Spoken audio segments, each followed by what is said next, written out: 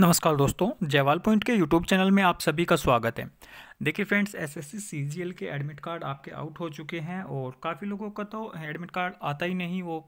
उसका तो पीछे रीज़न है कि वो सभी लोगों का नहीं आता, ठीक है? उसमें चश्मा आप लगा लगा हुआ हो सकता है या फिर किसी भी तरीके से सॉरी फॉर आइदर रॉन्ग इस तरीके से लिखा हुआ आ सकता है। अगर ऐसा लिखा हुआ आ रहा है तो उसके लिए आप जी मेल पर जो मेल होगी एसएससी की, उसको आप उस मेल कर दीजिएगा, ठीक है दोस्तों? उसका सोल्यूशन वहाँ से आपको हो जाएगा। लेकिन इसके अलावा पीडब्ल्यूडी के कैंडिडेट के साथ दूसरी समस्या आ रही है फॉर्म रिजेक्ट नहीं है फॉर्म तो एक्सेप्ट ही है।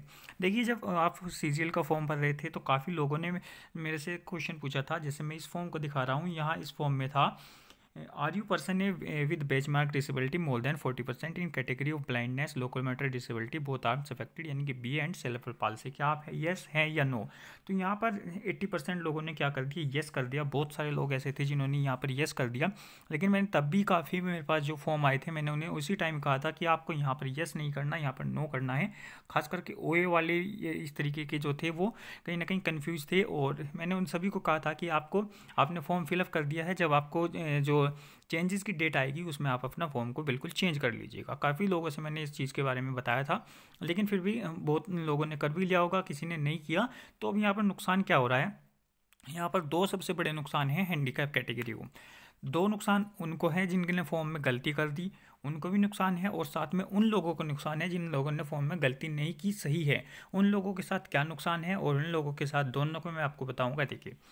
इसमें क्या हुआ है? जिन लोगों ने यस कर दिया है, उनको 20 मिनट एक्स्ट्रा मिल गई है। यानी कि एक घंटा बीस मिनट उनको मिली हुई है। ये वो कहीं ना कहीं स्क्राइब वाले बंदे हैं या उनको सेलेबर पाल से है, उनको दिक्कत है पढ़ने में रीड रीड करने में राइट करने में दिक्कत है तो उनको बीस मिनट एक्स्ट्रा मिल चुकी है।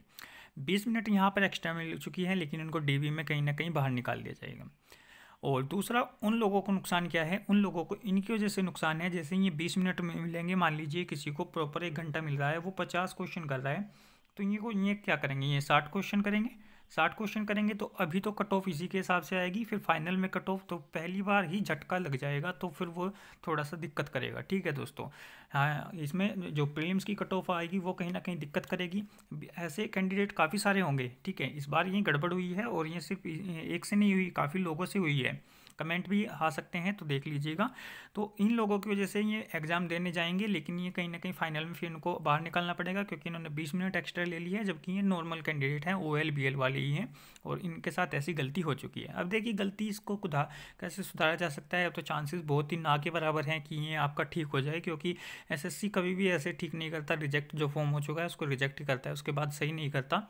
और ना ही कोई उसने अब पहले क्या था, पहले तो चेंजेस की डेट भी नहीं आती थी, अब इसी वजह से दो सौ रुपये उन्होंने लिए हुए हैं, दो बार उन्होंने ऑप्शन दिया है कि दो सौ दो सौ रुपये लेकर के हम आपसे दो बार आप तीन बार चेंज कर सकते हैं इसे, ठीक है? दो बार चेंज कर सकते हैं, जो उनकी चेंज डेट आई थी कि आप इस डेट पर चेंज कर सकते हैं, इस पर आपको दोबारा से साइट खुलेगी फॉर्म आपका दोबारा से खुलेगा। लेकिन तब भी लोगों ने नहीं किया तो अब तो या तो आप एक बार एस एस सी हेडक्वार्टर जा करके देख लीजिएगा जहाँ पर भी होगा आपके नज़दीक जो भी होगा एस एस सी का ऑफ़िस वहाँ अगर कुछ बात बन सकती है तो देख लीजिएगा नहीं तो नहीं कोई भी इस तरीके से, से लगता आपकी अब कुछ ठीक हो पाएगा। अब जो भी है वो आपकी इच्छा है, आप एग्ज़ाम देने जाएँ, ना जाएँ, किसी भी तरीके से, जो भी आपको ठीक लगे उसी हिसाब से। और फॉर्म की संख्या भी काफ़ी अच्छी खासी है, हैंडीकैप की इस बार, और तो और गलतियाँ तो हमेशा करते ही हैं, लोग कहीं ना कहीं गलतियाँ कुछ गवर्नमेंट के द्वारा गलतियाँ होती हैं, कुछ जो है हैंडीकैप स्टूडेंट के साथ गलतियाँ होती हैं और यहाँ पर भी ओए जो कैंडिडेट थे, उन्होंने भी यहाँ पर येस कर दिया है और मोर देन फोर्टी परसेंट भी यहाँ पर देखिए जो मोर देन काफ़ी लोग आ रहे थे कि इस बार फोर्टी परसेंट वालों को नहीं लिया जा रहा है मोर देन मोर देन वो मोर देन ये वाला मोर देन था, ठीक है? वहाँ पर काफ़ी लोग कन्फ्यूज़ हो रहे थे मोर देन को लेकर के वो ये वाला मोर देन था और इसमें उन्होंने येस कर दिया है कि मोर देन हमारा फोर्टी परसेंट से है, जिन लोगों का फोर्टी परसेंट से उन्होंने भी येस कर दिया है, ठीक है दोस्तों? लेकिन ये सिर्फ़ जो है लोकोमोटर डिसेबिलिटी यहाँ पर, ये बी ए भी तो था देखना था आपको और ये ब्लाइंडनेस और ये सेलेबर पॉलिसी भी आपको देखना था, तब जा करके आपको फॉर्म सही माना जाता। अब तो देखिए, चलिए, जो भी आपकी इच्छा हो एग्ज़ाम देना है, नहीं देना है, लेकिन फिर भी अब कन्फ्यूज़न आपके मन में बनी रहेगी, जिससे तैयारी पर भी इफ़ेक्ट पड़ेगा और कहीं ना कहीं फिर आपको गलती तो आपने की ही है, क्योंकि ये गलती कोई छोटी मोटी गलती नहीं है। अब इसी तरीके से मान लीजिए कोई नॉन जनरल कैंडिडेट है वो पी डब्ल्यू डी पे यस करेगा तो उसकी तो गलती होगी तो गलती तो आपके फॉर्म में हुई है। देख लीजिएगा थोड़ा सा आप मेल वगैरह करके देख लीजिएगा, अगर कुछ ऑप्शन हो जाए, कुछ सही हो जाए तो मुझे नहीं लगता वैसे अभी कुछ होने वाला है, पर फिर भी एक बार कोशिश करने में क्या जा रहा है, क्या पता आपकी किस्मत ठीक हो, आपका चेंज कर भी दें। ओके धन्यवाद दोस्तों।